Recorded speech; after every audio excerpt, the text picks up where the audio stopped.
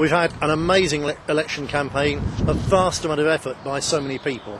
The most professional, the biggest campaign in the history of British nationalism, and in the teeth of a vicious media campaign, the likes of which has literally never been seen in this country. We're not talking about smears, we're talking about deliberate, brutal lies by the main newspapers in the country The Sun, The Express, and others as well. It's absolutely unbelievable what they've done to us, despite the concerted attack of the entire establishment, the mass media, all the political parties, all the clergy. We've made some very significant breakthroughs. For a start, our uh, results in the local elections on a huge swathes of the country are more than double the votes that we received at the last European elections five years ago. We can't compare the local election results now with then because five years ago we were standing in so few places that uh, it's really not worth trying to do. But um, a huge increase in our vote. And of course, we've won our first three county council elections. And uh, this really is an important breakthrough. This is the, the top level of local government uh, in Britain. Uh, before you start to get to devolved assemblies and so on, you can't go any higher than that. Uh, and many congratulations to Councillor Sharon Wilkinson, Councillor Graham Partner, and our new councillor down in Hertfordshire, uh, Deirdre Gates. Uh, it's very significant that in the case of uh, Sharon and Graham. They were already district councillors and now they're taking another step up the ladder. They're doing so because they're known locally as really good local councillors, so they've been elected to serve the people at the higher county level. And uh, Deirdre, of course, is building on the fantastic work done by our local councillor Seamus Dunn uh, down there in Hertfordshire. It just shows the importance of building step by step. And just to win those three seats to this very high county council level will now give us four years of getting to know the ropes at that length of that level of government. It's very, very important indeed for us moving up on up the ladder. So uh, many congratulations to them, and thanks to everyone who made it possible. Now, another thing which we've achieved is we've contributed in a very, very big way to literally the collapse of the Labour Party.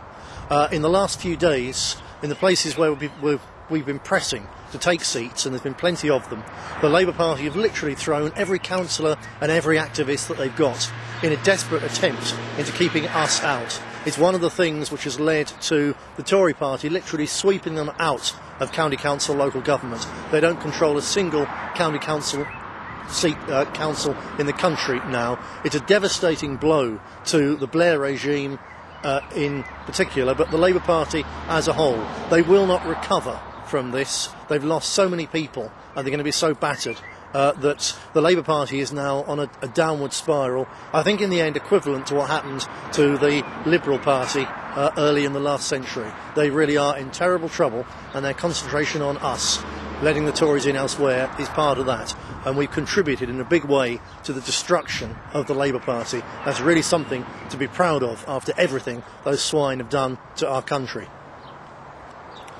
We've had one other huge effect, I'm afraid to say, that we and we alone are, I think, about to send well over a dozen UKIP MEPs to Brussels because that no hope, useless, corrupt part of the establishment, an establishment safety valve, we've pushed the media in particular this time to such extraordinary lengths to boost UKIP up to try and keep us out that um, they're going to go to Brussels in their droves.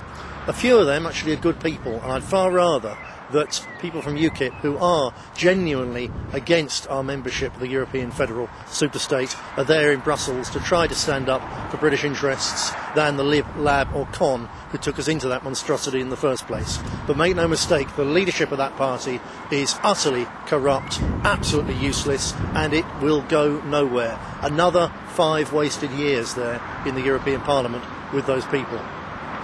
The UKIP surge is so strong that despite the fact that we've more than doubled our vote in the local elections, people have to understand that we are not going to win seats in the European election in most part of the country. We're, we're in still with a really serious chance up here in the northwest of England. Even if UKIP were to win two seats, we still have a serious chance of taking uh, a, a, seat off the collapsing Labour Party. But um, it's uncertain. It's all to play for. So we might not win any. We've got a really good, serious chance still of winning one. Whatever happens, we've got thousands upon thousands upon thousands of new, keen inquirers, follow ups, hundreds of members coming in day by day by day. These are the people we've got to get out to now to involve them in our local community campaigning because we've seen from the way the votes have gone, we've seen where we've won, that the key to our long, hard struggle is patient grassroots community work, such as none of the other parties do anymore. That's what we're really good at. That's what really pushes us forward. That's what we're going to carry on with. Well, whatever happens in this election finally on Sunday, we're going to sit down, and I can assure you already, we're looking at ways we have to take on the media directly to make more and more people understand what a lying, scheming bunch they really are and how much they distort the truth. So, whatever happens on Sunday, we're going to carry on. I hope we'll carry on with a seat in the European Parliament, but whether we do or whether we don't, these elections mark the coming of age of the British National Party as a party which can mount and can sustain a really serious, big campaign against all the odds. We've done it now, we're going to be doing it again within a year for the general election. I hope you'll be there helping us along the way. Thank you.